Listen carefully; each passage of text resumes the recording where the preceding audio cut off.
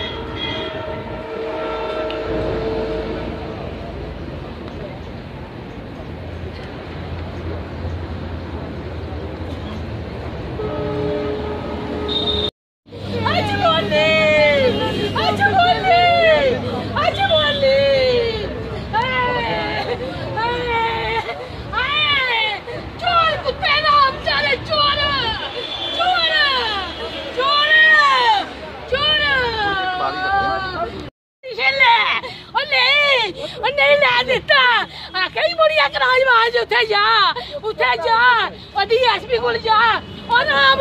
चोर चोर चोर चोर चोर चोर चोर चोर मरना नहीं जीना। नहीं जीना। ओ चोरो। ओ चोरो। ओ चोरो। ओ चोरो। ओ चोरो। ओ चोरो। ओ चोरो। बड़ा हौसला बड़े पीला पानी में आई। बड़ा हौसला कीता।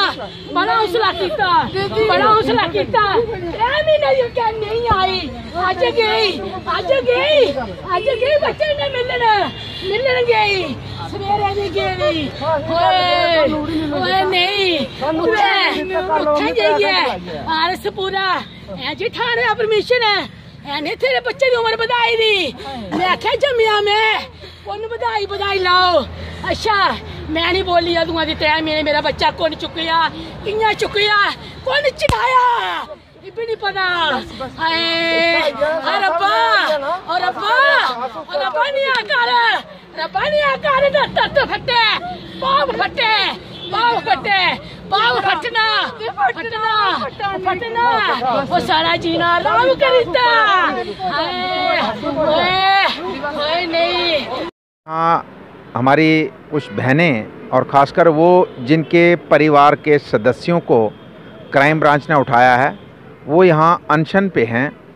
और उन बहनों के समर्थन में हम यहाँ पे आए हैं। सुबह भी हम यहाँ बैठे थे, हमारे पार्टी के चेयरमैन हर्षदेव जी भी आए थे, पार्टी के अलग अलग इलाकों से लीडर्स भी और नेता हमारे आए थे।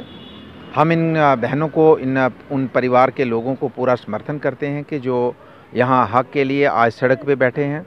और एक हिंदुस्तान की सरकार का जो नारा है, बेटी बचाओ और बेटी पढ़ाओ का, उसको भी यहाँ से हम मैसेज देना चाहते हैं प्रधानमंत्री जी को कि आपकी बेटियाँ, आपके देश की बेटियाँ आज सड़क पे मरण बर्त पे हैं और आपकी सरकार उनकी बात सुनने तक राज़ी नहीं है। आपके पीएमओ ऑफ़िस के मंत्री, जो प्रधानमंत्री जी के बिल्कुल बगल में बैठते हैं और यहाँ के मेंबर पार्लियामेंट भी हैं, कल जब उनको पता चला कि यहाँ हमारी बहनें यहाँ भूख हड़ताल पे हैं तो वो अपनी गाड़ी नीचे से मोड़ के दूसरे रास्ते पे ले ले गए और यहाँ आके पूछने की हिमाकत नहीं कर सके कि मैं पूछूँ तो इन लोगों को इन औरतों को इन बहनों को कि आपकी समस्या क्या है?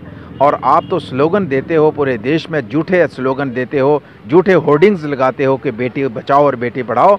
ये दोगली नीति इस पार्टी की ये आगे वाले आ, आने वाले समय में नहीं चलेगी।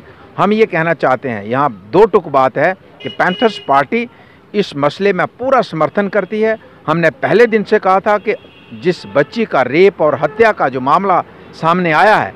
वो बच्ची का नहीं, वो इंसानियत का कत्ल है। उसके हम खिलाफ हैं। हम भी ये कहते हैं कि जो भी आदमी इन्वॉल्व इसमें हो, उसके खिलाफ कड़ी कार्रवाई की जानी चाहिए। लेकिन जिस तरह से यहाँ आम नागरिक को, यहाँ आम नागरिक को, आम युवा को निशाना बनाया जा रहा है और हर दिन दो, चार, पाँच लोगों को क्राइम ब्रांच की तरफ़ से उठाया जाता है, पीटा जाता है, उन लोगों को, नौजवानों को पिछले तीन तीन महीनों से बंद रखा है। जो यूपी के कॉलेज में उस दिन की वारदात के दिन उनका मोबाइल का टावर की लोकेशन यूपी में आती है, उनके हॉस्टल की अटेंडेंस यूपी की आती है, उनके कॉलेज की अटेंडेंस यूपी की आती है और उनको यहाँ इस केस में आपने इन्वॉल्व कर रखा है कि आप इस रेप और मर्डर में इन्वॉल्व हो। ये इंतहा हो गई है यहाँ इस सरकार की तानाशाही की, जिसको कतई बर्दाश्त नहीं किया जाएगा। हम ये कहना चाहते हैं, हमारी पार्टी की तरफ़ से भी समर्थन भी है और हम ये बाजिया करना चाहते हैं कि पैंथर्स पार्टी का हर कार्यकर्ता अपने खून का हर एक कतरा बहाने के लिए तैयार है, लेकिन इन लोगों के साथ नाइंसाफ़ी नहीं होने देंगे इनजस्टिस कतई बर्दाश्त नहीं करेंगे। ये साफ़ और क्लियर शब्दों में